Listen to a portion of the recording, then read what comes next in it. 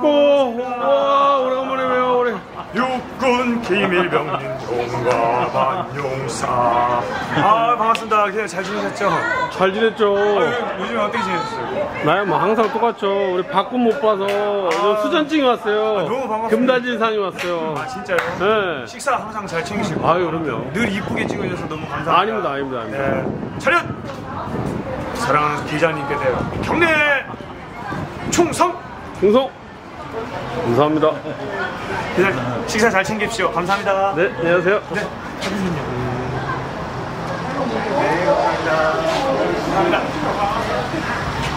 칭찬하고 하니까 옆에서 그냥 아니 아니 내 새끼가 옆에 있는데 남이 안 이쁘다 하면 어떡할 거야. 아니야. 일을, 일을 그렇게 해도 이쁘게 나오잖아. 분이시구나.